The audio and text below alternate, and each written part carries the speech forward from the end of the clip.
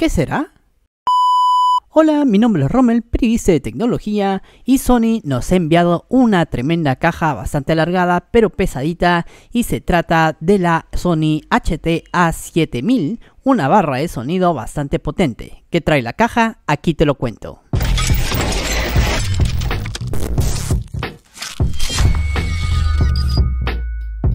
Bien, ya tenemos la Sony HT-A7000, la nueva barra de sonido de Sony, la cual nos ha llegado y hace buen tiempito que Sony no nos manda algo para poder evaluar.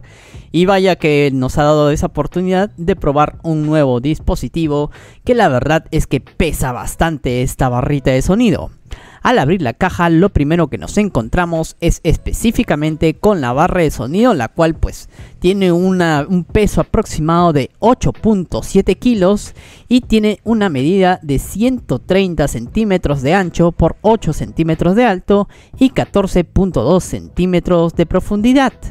En la caja también encontramos los clásicos manuales de uso y además de un enchufe para poder conectarlo sí o sí. Esta barra de sonido no es inalámbrica. De igual forma, contamos también con un cable HDMI a HDMI para que puedas conectarlo a lo que vendría a ser tu televisor.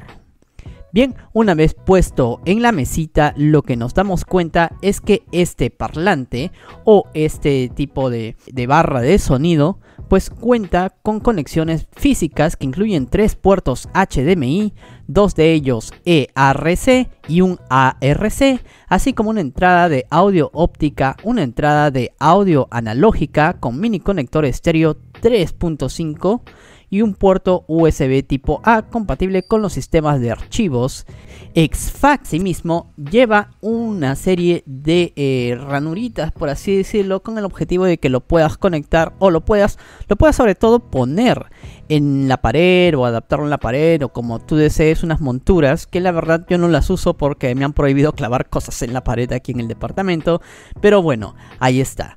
En la composición pues tenemos un cuerpo hecho de plástico con una telita que cubre prácticamente todos los auriculares. Esta barra de estéreo cuenta con canales de 7.1.2, así como dos parlantes orientados hacia arriba para reproducir el sonido eh, que lo que desees, además de dos tweeters, DAS y cinco parlantes frontales para buscar ofrecer una experiencia mucho más envolverte y de todo ello también destaca que tiene un subwoofer doble integrado para potenciar esos graves bastante perfectos.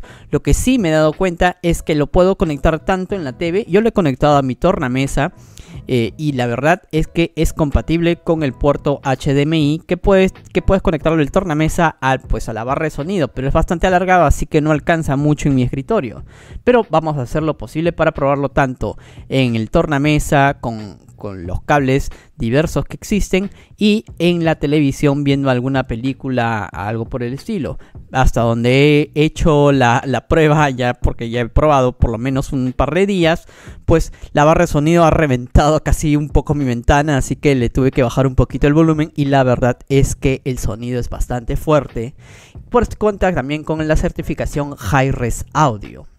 Por otro lado, lo que sí te debes dar cuenta es que trae una mini pantallita, la cual pues te indica el, tema de volumen, qué opción estás seleccionando, etcétera, y además pues un control remoto con varias opciones que aunque suelen ser confusos debería ser un poquito más simple, pero a primera impresión pues me ha dado una perspectiva de que es un poquito complicado, pero a la larga te terminas acostumbrando y seleccionando los eh, elementos correctos para que suene tu parlante. Si te gustó este unboxing e información, dale manito arriba. Si no te gustó, déjame tu comentario en la parte de abajo y no olvides suscribirte a mi canal de YouTube y activar la campanita para recibir todas las novedades del mundo de la tecnología.